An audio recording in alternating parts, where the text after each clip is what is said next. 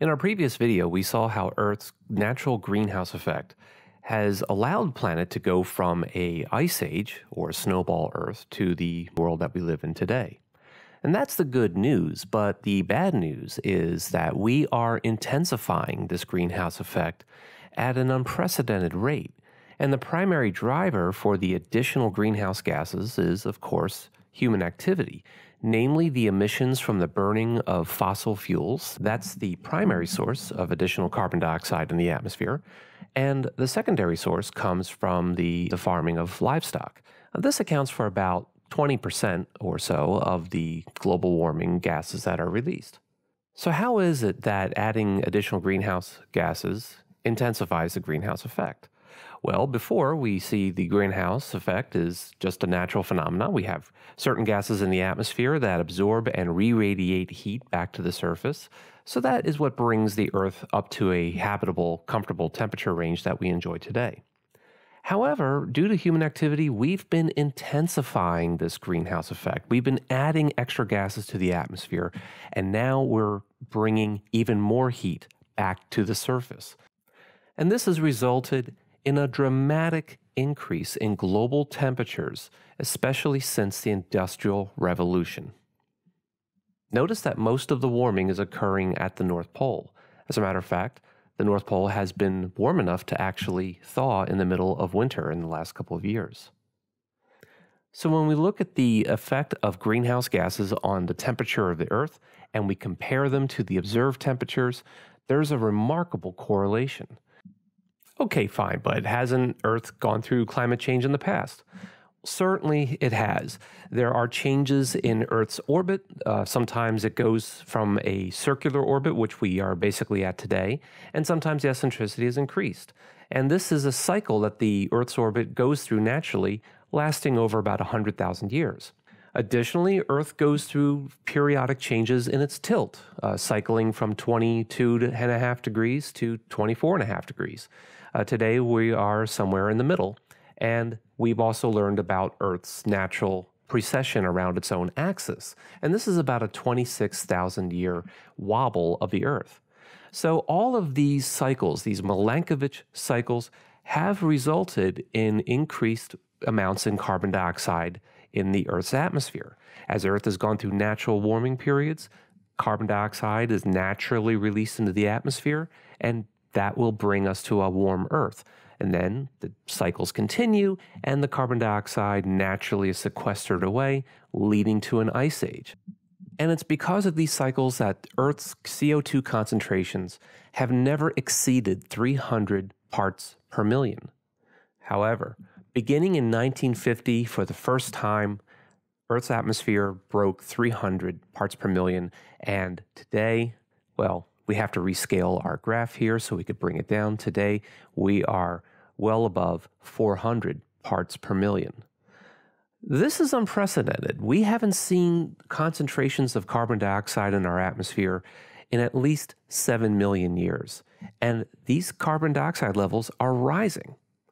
Okay, well, if you talk about this with some people, you're going to hear a lot of objections, which is kind of strange because nobody really objects to physics or chemistry, and yet this is just physics and chemistry.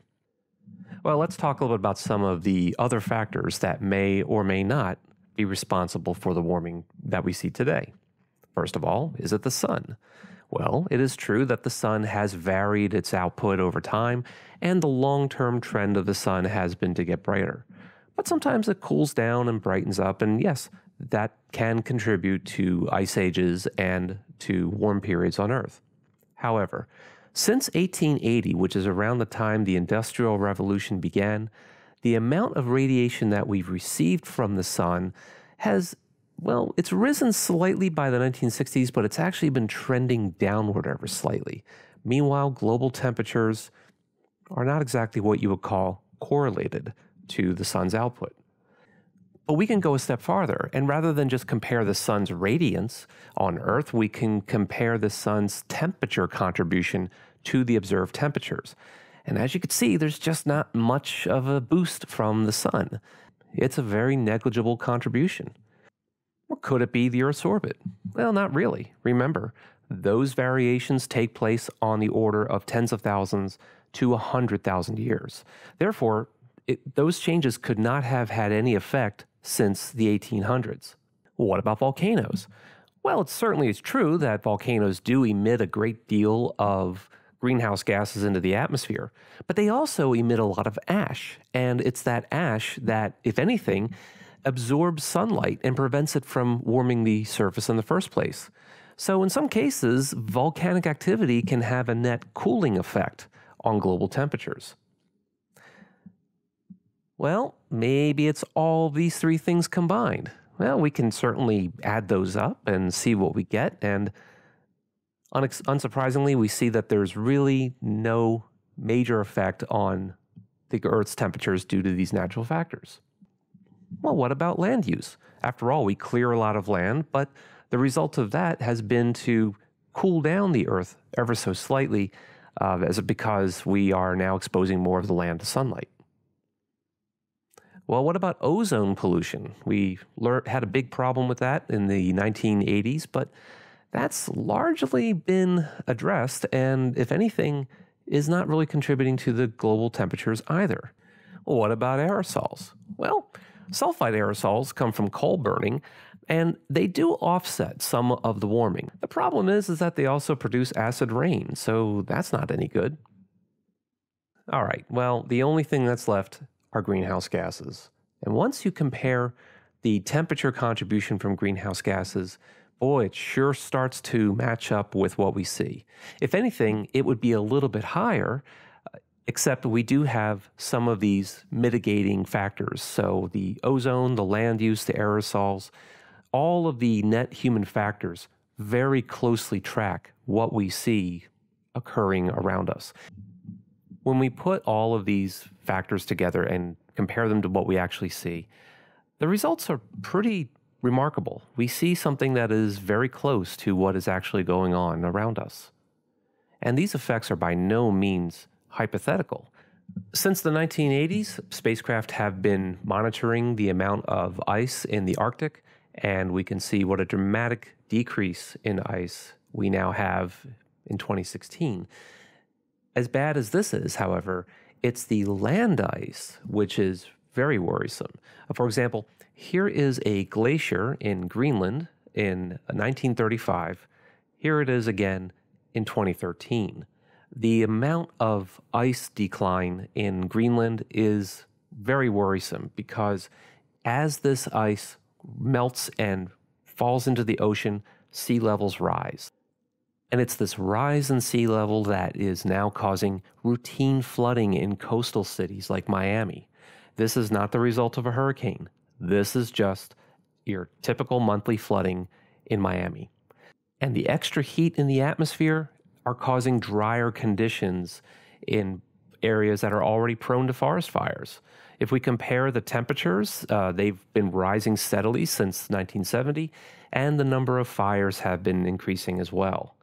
But the increased heat brings with it drought and crop failures. But most of the heat goes into the ocean, and this is why we are seeing an increase in the number and severity of hurricanes. This is Hurricane Maria, which devastated Puerto Rico in 2017. And as of this recording, parts of Puerto Rico and many other states and countries in the region are still recovering from that terrible hurricane. Meanwhile, other parts are experiencing more severe landslides and mudslides. These are just a few of the effects of climate change. I guess the only question is will we change? And you might be wondering, what does all this have to do with astronomy? I mean, after all, aren't we supposed to be learning about Earth as a planet? The answer, I think, is yes, we are. However, this is part of life on Earth. This is something we have to think about and make some choices. It matters if we burn fossil fuels. It matters if we raise livestock the way we do. It matters who we vote for. It matters what we do. So, what are you going to do about it?